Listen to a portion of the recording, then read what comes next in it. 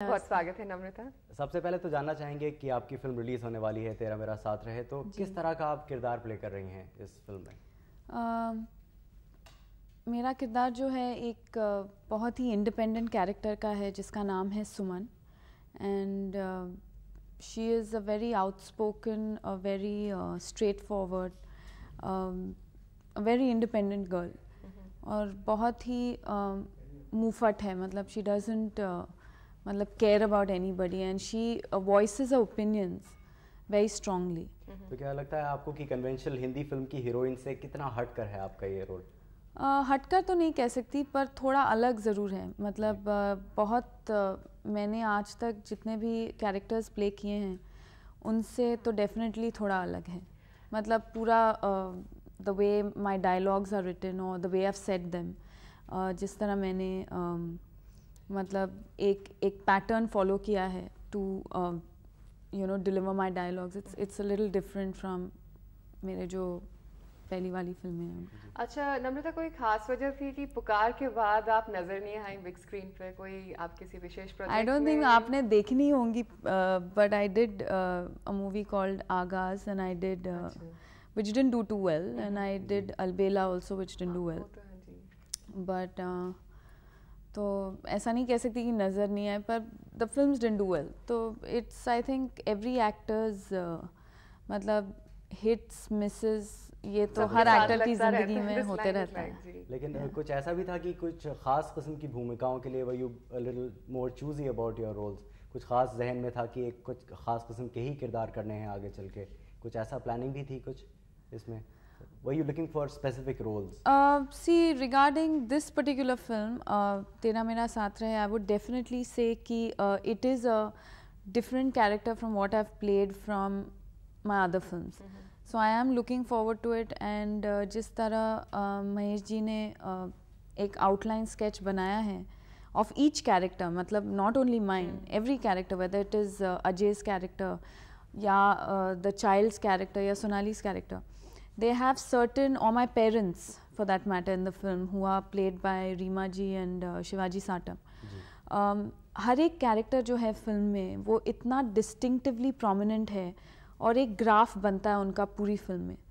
तो वो हम लोग फॉलो करके we try to make a film which is a very strong emotional drama basically and it deals with human emotions on various levels तो I would think कि we've all work really hard for it and we've try to give it our best Namrata film में music एक बहुत important role play करता है तो आपको इस फ़िल्म में सबसे अच्छा गीत कौन सा लगता है और म्यूज़िक कैसा लगा इस फ़िल्म का आपको? Um, इस फ़िल्म का म्यूज़िक दिया है आनंद राज आनंद राज आनंद ने एंड um, मेरा फेवरेट गाना एक्चुअली मेरे दो फेवरेट गाने अच्छा। एक्चुअली सभी गाने जो फ़िल्म के हैं they have a very melodious tune to it मतलब mm-hmm. एकदम ऐसे रॉक एंड रोल टाइप के गाने नहीं हैं। बहुत मेलोडियस हैं जो आप कभी भी गाड़ी में सुन सकते हैं घर पे सुन सकते हैं। मतलब you know if they are very soothing songs तो जी। आप मुझे मेरा फेवरेट गाना पूछिए।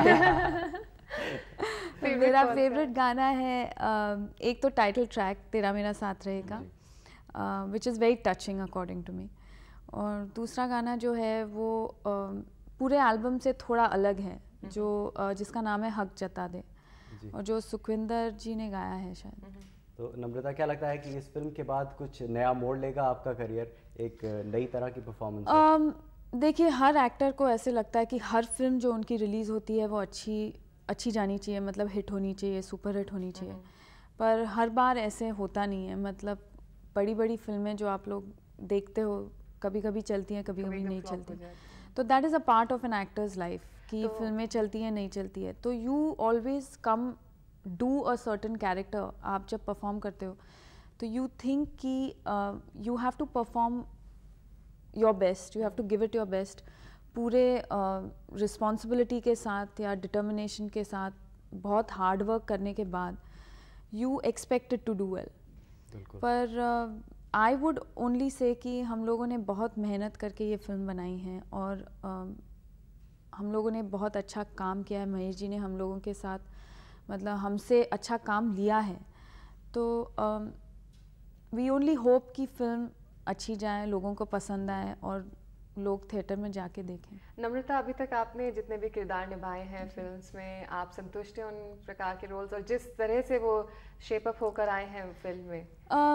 सी uh, मैं बहुत ज़्यादा फ़िल्मों के बारे में जिन uh, मतलब जैसे कि I won't want to talk about certain film क्योंकि they won't as per the narration मतलब there was some really bad film in my career but I would say ज़्यादातर after Pukar and Vaastav the kind of roles that मैं जो मैंने choose किए hmm. हैं to follow hmm. A pattern of you know doing good work I am quite satisfied like I think Tera Mera Saath Rahe was the only film that I actually signed after my release of Pukar and Vaastav and a film called Aagaaz but Aagaaz really didn't do too well and Albela was a very बहुत पहले picture sign हुई थी जब मैं just new new industry में आई थी वो बहुत देर लगी बनने में और रिलीज़ होने में।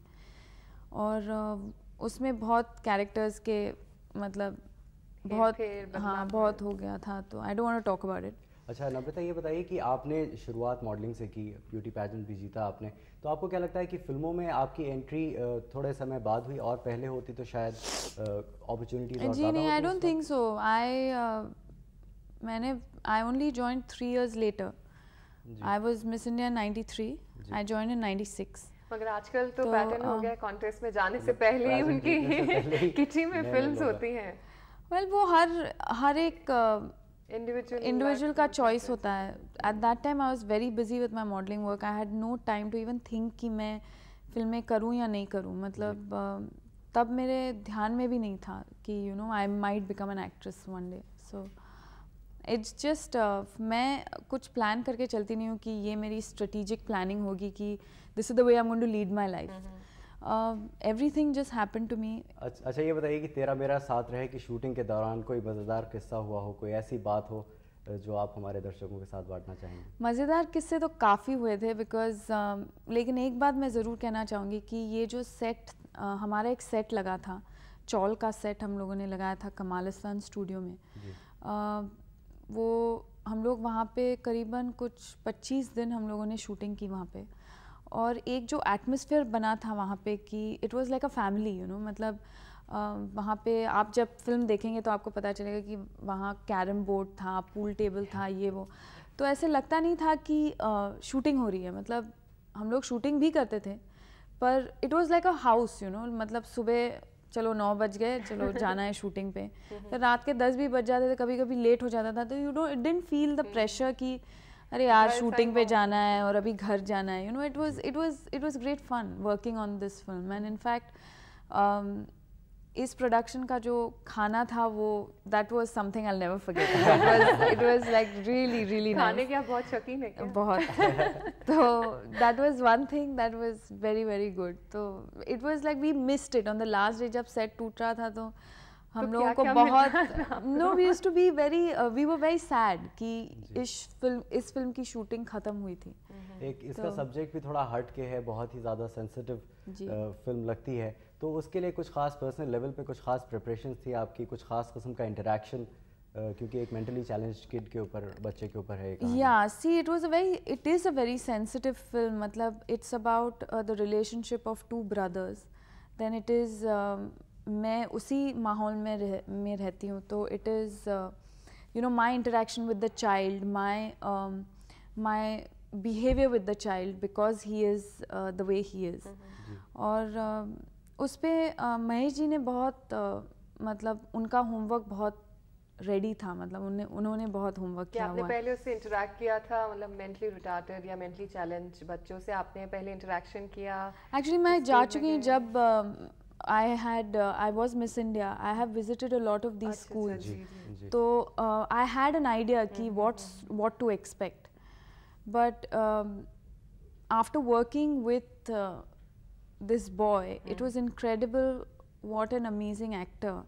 मतलब वो किस लेवल की एक्टिंग करता है वो लड़का कि आप जब फ़िल्म देखेंगे तो आपको बहुत ताजुब होगा कि he is not one of them but at the same time he has not given you आपको इतनी भी मार्जिन uh, हाँ आपको इतनी भी मार्जिन नहीं मिलेगी कि आप कह सक कह सकोगे कि अरे यार वो ऐसे नहीं लगता।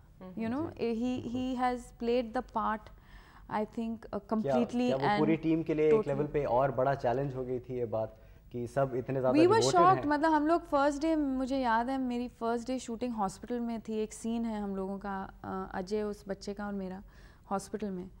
तो पहली बार मैंने उसको देखा तो मैं तो बिल्कुल surprise and shocked I was you know कि how can this normal child be so good?